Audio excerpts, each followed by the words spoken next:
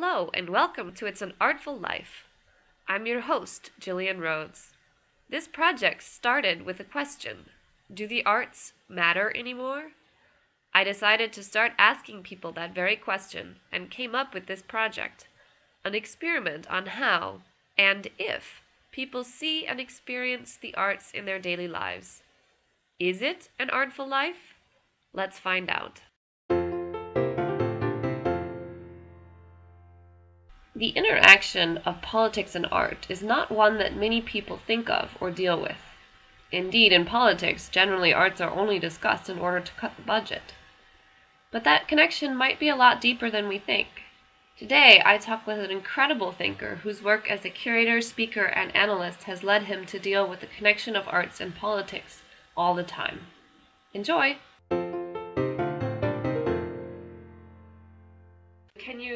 Just briefly introduce yourself? Yeah, sure. So, uh, my name is Denis Maksimov.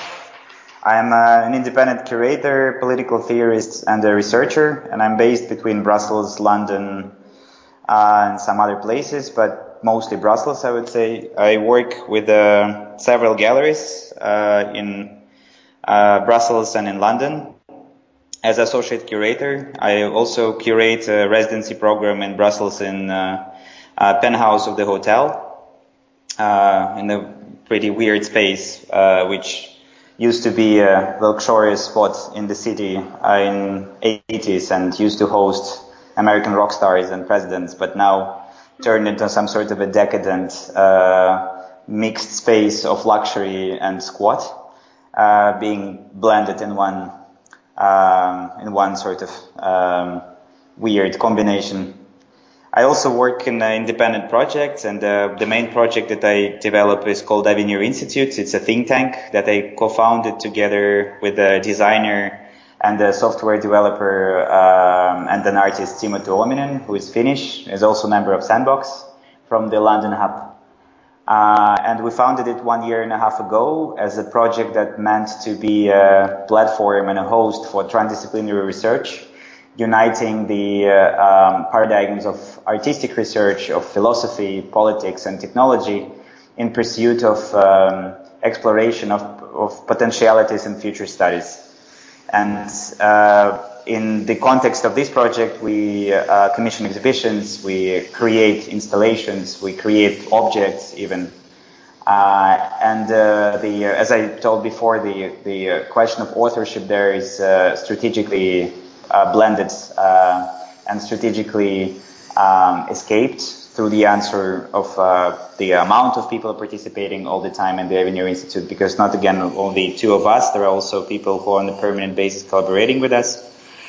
Uh, and yeah, in this year, it's actually, the Institute is pretty young, it's just one year and a half, but we somehow managed to do a lot of things. Um, uh, in this in this period of time. Institute was officially launched at the Venice Biennial uh, in uh, uh, 2015 in August at the Creative Time Summit, where we were invited to make a lecture performance. Uh, and up from that moment on, uh, up to then, we we uh, made exhibitions in Berlin, in in exhibitions, lectures in Berlin, in London, Venice, Moscow, St. Petersburg, Brazil, São Paulo uh, yeah, so, and uh, actually the show that is going to happen here and going to open in uh, two weeks is going to be a sort of a, a summary uh, of, of uh, not directly, of course, but sort of an overview of the research that we carried out in this period of time. Uh, and it's called Against the Future. Uh, the uh, and the total installation that is going to be presented there is called uh, a temple of a, a temple uh, of futures thinking. On the other lines, basically of what I develop, I work also with uh, other groups of curators and individually curators in different places in Rome and in Venice, I work with the curators of the Nationless Pavilion of the Venice Biennial, and we already commissioned twice the pavilion during the Architecture Biennial and the Art Biennial in 2016 and 2015. I also work with a Brazilian curator called Caroline Carrion, uh, and we have a curatorial duo with her, which is called um, Daniet Возможно. It's a very weird Russian expression uh, that we uh, appropriated from the Russian everyday use and a bit twisted to uh, mean the superposition of total uncertainty, sort of, because it's a very weird expression. It's a very weird expression in Russian, which you can actually respond binary questions that normally presume the answer yes or no. But if you say да нет возможно, that means basically yes, no, maybe, and none of them at the same time.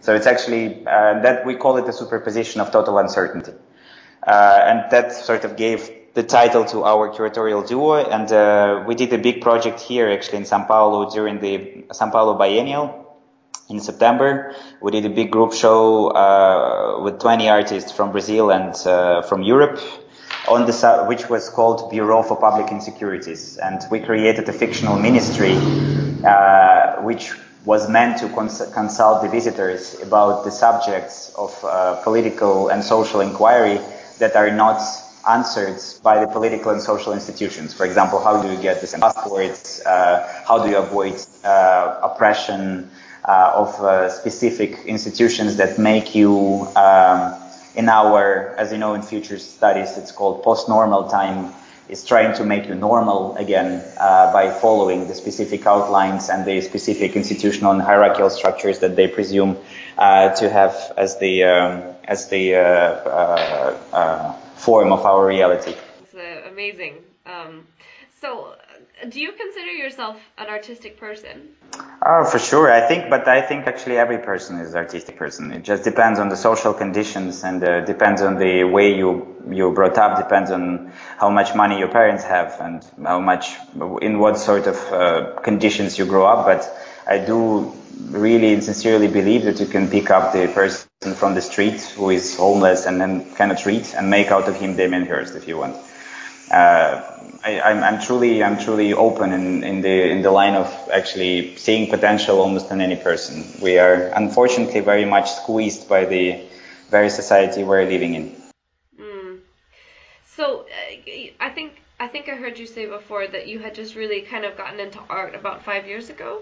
Uh, I would say that, that the into art history I got into and into poetry I got into much earlier, but uh, just in conditions of my growing up, let's say in Russia, and also my professional training in there. There was basically, I did not really have any time, neither institutional possibility to uh, engage with contemporary art or with what is actually called contemporary art. Back then, when I lived in Moscow in 2007, 2008, it was just a couple of places where you could uh, somehow engage with the subject, but uh, that was very rudimentary even back then. And just when I moved to Belgium, I basically, from the open door, went to the Royal Academy of Fine Arts in Antwerp and asked, so what can I do here? And uh, it's not very common to be very initiative in there. So I sort of uh, pushed my way in in first place. And then, and then I, and then after some time in the Royal Academy of Fine Arts, I also then did the uh, pre-PhD program in um, St. Lucas on philosophy, critical theory, and uh, research of art and design.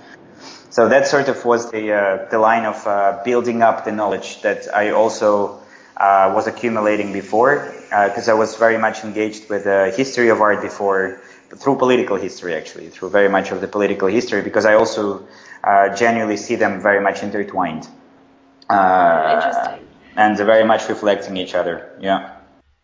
So, um, is that the kind of the political history? Is that kind of what drove you to the arts? Like, how did you get really interested in, in participating in the arts? I would say my, my fundamental reason would be uh, that I really do find that politics and art have much more in common that maybe is, is commonly perceived because they both mm. deal, I think this, both of these activities, art and politics, artistic activity and political activity, I find them um, the most human activities actually that define us as as the as the beings as we are and define our difference actually with the animal world. Because we we have the two drives that are uh, mm, present of, in some way or another in the in the um, animal world but in in the uh, sense of our humanity those drives are very much uh, maximized. So it's the drive to power, drive to political power, and desire to govern,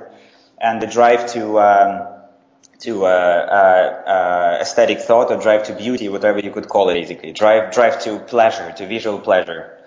And those two drives, they are, uh, from my perspective, are very much um, illogical uh, in their in, in the very core of them because drive to power, if it's authentic drive to power, uh, and this is actually a very big misconception also in thinking about politics that, that, you know, the good politician just wants to get a lot of resources and actually the, the purpose of any politician in politics is to uh, make sure that you grab as much, I don't know, money as you can. This is total misconception because the actual purpose of the good politician, the good politician, it might be horrible politician like Hitler, I mean, but, but Hitler was a good politician in that sense, because the, the purpose of the, of the politician, of the authentic politician is political power. Political power that actually not convertible into, it's of course it could be on the, it could on the way also bring you a lot of other resources, material, immaterial and so on, but the power itself is very authentic resource. And the same is the same resources that maybe you could call it aura, you know, aura in art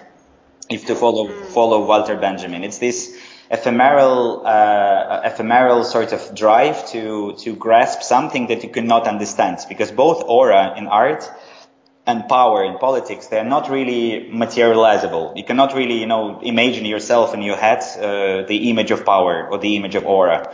It's really something that you can only feel uh, through either you are having it or you have an impression you're having it or impression you're perceiving it and you're reading it.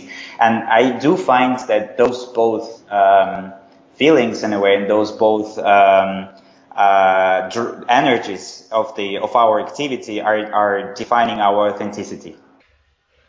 Okay, nice. Um, do you have a, a particularly memorable experience of art? Uh, sure, many, uh, quite many actually. Uh, and again, experience of art is not experience of something as it's shown to you as art or is demonstrated to you as art. Uh, uh, this is, and this is also a very uh, interesting point of the liberation of the artistic field in this way in the 20th century, 19th century that uh, you can actually find art whenever you uh, whenever you go because it's art is a strategy in so many instances as well. It's a strategy of escape from the uh, sort of surmountable and you know in very much uh, over hierarchized structures of our contemporary living. So, um, out of the very classic ones, I would say that one of the most memorable things, two, there are two memorable paintings that I, that I, um, uh, every time coming back to in my mind, it's, uh, the, uh, uh, the Garden of Earthly Delights of Hieronymus Bosch, which I saw first time in Prado in Madrid, uh, I don't know how many years ago, long ago, maybe 10 years ago, or, or and uh, it was the painting in which, in front of which I was standing for, I don't know, an hour, maybe, uh, not living, and that, that was the, and since then, Bosch, uh, basically, I, I like the, I love the Bosch in general, uh, but, but the, this particular painting is, uh, is, uh, really grasps this this this essence of aura that I'm talking about in in in, in my view. Uh, the other there are many other instances like that uh, of particular sparks in uh, in uh, careers of the artists. For example, Guernica of Picasso is also incredibly powerful painting to stand in front of and to see it actually live. Um, so I'm very much in that sense actually agreeing with the Walter Benjamin uh, understanding of, of authenticity of artistic objects and the, the power of the artistic object and what it could actually mean. And this multiplicity of meanings it could convey because the again experience of art in that sense is uh, mentioning and noticing somewhere in some object that might not be even appropriated and presented to you as an art object noticing there that it's that sort of black hole and vortex that could bring you into the the, into the uh, portal that you can enter, you know, multiverse through that, and you can you can totally twist the uh, the uh, um, uh, the anthropological gravity of what we sort of um, seeing as our limitation to again to um, uh, to see that the knowledge is quite infinite thing and, it has so many uh, different colors and different shades. And uh, I find that art is very very important in society exactly for that exactly for that reasons among many other. Okay, um, you just you're talking about like art as a as a strategy. Um, do you think that you experience art on a daily basis? You know, not in a museum, but you know, getting up and going to work or or on no, weekends of or course, of course. I think I, I, think actually everybody does. I think everybody does, but not maybe everybody reflects on that. But I do believe that everybody does because it's again, it's the, you experience power on a daily basis. You experience art as well on a very daily basis. Because if you don't, you're a monkey, you're a chimpanzee, or uh, because it's it's this is exactly what makes you human. People might deny it basically that, or might not notice it. They might not take it as experience of art. But you know, when even the most, uh, the you know, the the most bankery, whatever, executive and accountant who does not believe and don't like art and never go to museums, even that person, I don't know, uh, chooses specific laptops, uh, chooses specific products on the basis of sometimes the uh, um, argumentation that might not be even artic- articulated in the head uh, in words, but it's articulated on, on the basis of the visual thinking and the basis of the um, uh, absorption of the visual information around yourself and those decisions that we make on everyday basis uh, and those decisions are concerning not only aesthetic decisions they're also moral decisions ethical decisions political decisions and so on. They are very much influenced by how we are seeing the world and what we are seeing as beautiful or or containing this sort of um, energy that that conveys that that if we w- go into that direction we are actually following the path of being who we are. Yeah so, um, okay. So, what do you think is the greatest gift, shall we say, that art gives to the world? So, kind of, uh, you know, you've talked about art as kind of one of the fundamental things that that make us human. Um, you know, so a world without art is basically one in which we're all chimpanzees. But what do you think the kind of the most important thing that art gives us and gives our lives? It gives a lot of things. I think there is no one specific. That's actually, I think, the most interesting part of art because it's one of the most multiplicit, uh, also um, areas of human activity as well. Because you can get from art anything you want, uh, starting from the education, expertise, uh, thinking, research, going to inspiration, uh, calm. I don't know, calmness, uh, peace uh, actually it's it's so much but also art might also create wars art might create you know it's it's it's uh, art in this sense is a little bit like uh, the ancient Greek goddess Ananke. You know, it's I don't know if you uh, you know know a bit the Greek mythology, but the, there is this uh, funny goddess in a in a Greek pantheon called Ananke that is a goddess of uh, the, the the the most uh, incredible beauty and at the same time the most incredible horrors. So it's sort of the the plank that is very much variable uh, from uh, in the infinite alphabet that you can actually take it from to because art can inspire to do horrific things basically incredibly horrific things because uh, I don't know, um, uh, uh, fascistic regimes, for example, are, in a way are pieces of art. In a way, it's it's the way to to make statehood an art object. In a way, propaganda and ideology, uh, good ideology actually has to be a piece of art because you have to inspire people to do things they would not logically do. And there, exactly, and a good example when art becomes a strategy to, uh, to, uh, and I don't say it in a neither negative or positive thing. I just say it in the point of the natural analysis of how do you look at it. At the same time, you know, art inspires to do the most beautiful things in the world. The, uh, you know, the most gentle, the most calm, the, the most kind, the, uh, art conveys messages that that makes us completely rethink uh, the everyday activity we're doing. You know, if you look at uh, if you look at I don't know the uh, examples, for example, of Martha Rosler performances with uh, on the kitchen in 60s that that conveyed the beginning of feminism and and reinterpretation of everyday life. Uh, and politicizing everyday life into the level of sub-politics. I mean, this is just uh, so hard to uh, it's so hard to overestimate the importance of what happened in there.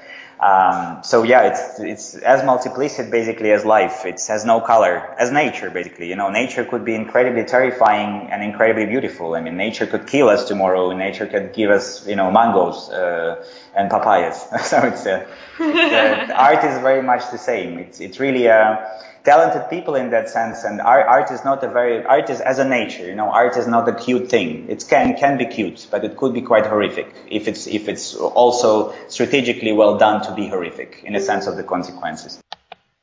Right.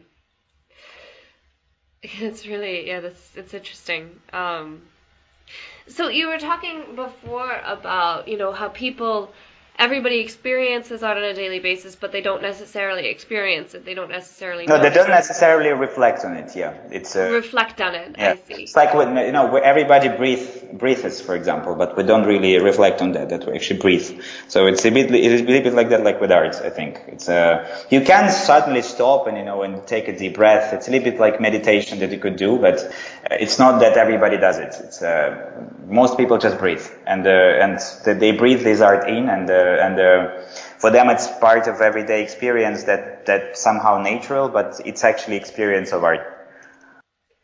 Do you think that um, people would benefit from reflecting on it more? I certainly do think that that would be the case. Again, you know, like taking the example of some meditation or breathing techniques, for example. You know, if we would breathe better on everyday basis, and if we would do exercises in breathing, you know, we would be much more calm and we would uh, probably uh, not that we need to decelerate. I'm not one of these people, you know, who is uh, saying that we need to stop blah procs and, and so on, but. Uh, it's, it's, it's, it's just being more aware, actually, of your environment. Be, being more aware and knowing more what influences your everyday life, your everyday experiences makes you more, uh, resilient, makes you more prepared, makes you more, um, also flexible and twistable to the uh, environment that you're living in. Because again, we're living in a very hostile environment. We're hostile towards each other. We're hostile, the, the, the uh, nature hostile to us. Uh, you know, everything is hostile to you. You are surviving, basically. The life is survival, whatever you say about that. So in this constant struggle for survival, basically, art is one of those one of those very important components that allow, allow us to increase the level of life into that struggle for survival. Art is sort of the, the ambrosia of life in that sense. And in case people would reflect on that more, I think they would be happier, they would be more open, they would be more um, multiplicit in thinking and not thinking in particular lines. And uh, for example, in the contemporary political environment now, we definitely need more art. Uh, and uh, that's that's and we need actually we almost need art terrorism. I just had a very great actually conversation about it yesterday. It's like you know if Jeff Koons tomorrow would just would just uh, uh, come out, uh, you know, on the uh, to to a call press conference and and tell something like, you know, guys, all the stuff that I did for since 1982, 1981, it's actually total bullshit. I never believed in it. I just, you know, wanted to make money and I wanted to actually prove that you all guys will buy into that. So actually all that crap that you invested into millions of dollars worth nothing, basically. Even though if he would do that, I would be his biggest fan and he would be the, the second Marcel Duchamp. But whether he'll do it or not, you know, it will be really, if he will do it, it would be terroristic act, you know, because he would drop the prices in contemporary art markets, you know, uh, completely to the, to, to the ground. So most of the, most of the sort of celebrity art in that sense that grabs a lot of, because, you know, also what is really important in understanding from my perspective in art is that it's not that we have good art and bad art. I don't believe in good art or bad art. We have either art and non-art. It's, it's a, because the, the, again, like, you know, in this example of the negative and horrific art in the sense, this negative and horrific art is also art. You cannot, you cannot like it, you cannot agree with it, but it's art still at the, the moment. It's still something to study. It's still something to learn from, actually. Not learning maybe what it wanted to achieve and what it was standing for, but learning how it looked, learning how it actually, you know, achieved the level where it went to and so on. And if we will do that, I think we will much more we will be much more conscious about ourselves. Hmm. So the this is the this is the, actually the last question of um, that I have, and that's uh, just quite simply, what do you think it means to live an artful life? Uh, well, I think it means to live a life, actually just to live a life because the, the, the life, the non-artful life is, uh, I think it's existence. It's, uh, in a way, because, you know, love, love in that sense and, you know, all the emotional, um, sort of conversions into what, what everybody sort of craves for or wants to. It's also very much an artistic expression of ourselves. It's because art is, uh, in a way responsible for everything illogical, for everything uh, that has no particular functional purpose. Art is something that actually um, guarantees, I think, if we will be able to preserve it and we'll be able to understand that, that no non-artificial intelligence will ever, uh, uh, I, I, would not say will ever, ever, maybe, uh, to, to, replace the, the hum, human experience, but up to until now, I would say mechanization of human experience and specific, um, you know, functionalization of specific things that we live now in, in, in, through would not replace that experience of art in, in a way because you can teach the robot to to uh, follow specific patterns and even be creative in some specific way. And uh, you know even be creative in the sense of creating algorithm behind of what you do. But uh, you would I, I really I really still don't see how you can replicate this mystery of the human brain because you know we still know about human brain much less than we know about universe. Uh, so many things happen in there and so many things happen in a sense of this instant because neuron connections are faster than speed of light and uh, we still have so much to learn about it.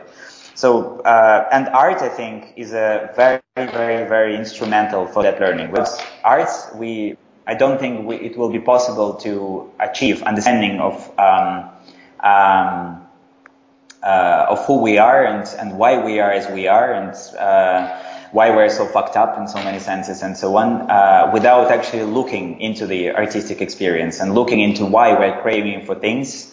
Uh, and why actually we find those things the most human things and the most authentic things that might happen to us in our in the course of our life. Cool. Uh, well, thank you so much for the very thoughtful answers. Cool. Thank you so much. Sweet.